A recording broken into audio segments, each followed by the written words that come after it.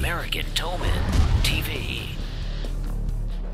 Welcome to Tow Industry Week. I'm Emily Oz. Today we hear about the latest and greatest in tow truck technology in our manufacturer's spotlight.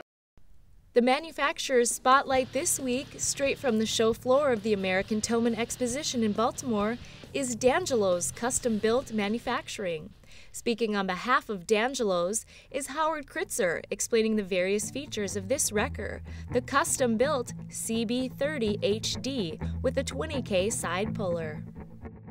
This is a custom built CB30 HD integrated wrecker. It has a 20,000 pound side puller on it. Um, and it was manufactured for Johnson Specialized on their 2005 Peterbilt chassis. Um, this one's had many upgrades put onto it. Special paint features are done to it, um, as well as much lighting uh, as they could add. This in particular rig does have a side puller. These are extendable rails on our side puller, booms on our side pullers that has dedicated 20,000 pound winches for each side. Adjustable, extendable hydraulic legs are on that as well. Um, as far as the backside, we have a four-stage underlift on this, which has 151 inches of usable space. So from the back of your truck to the forks, 151 inches um, on this four-stage underlift.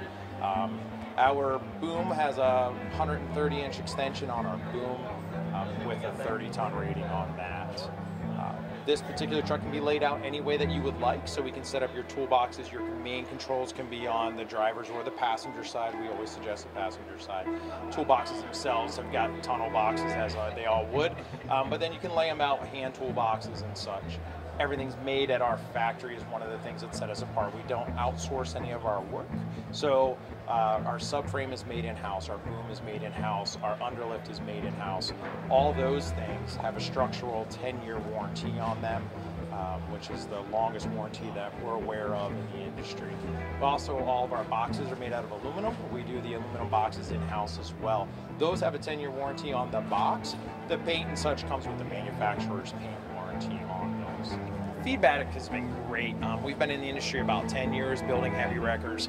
Um, everyone has been able to see the transition that we've made as a company, as our wreckers have made as a company.